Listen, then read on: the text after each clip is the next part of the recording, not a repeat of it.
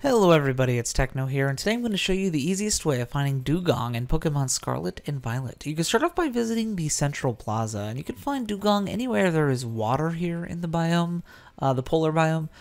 Uh, but there is one guaranteed Dewgong spawn right where I just marked. I didn't even let it linger. I'm sorry about that.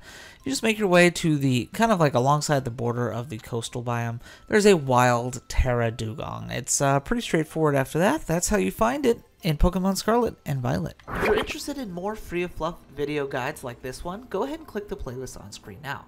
I hope you enjoyed the video, and as always, Techno's out.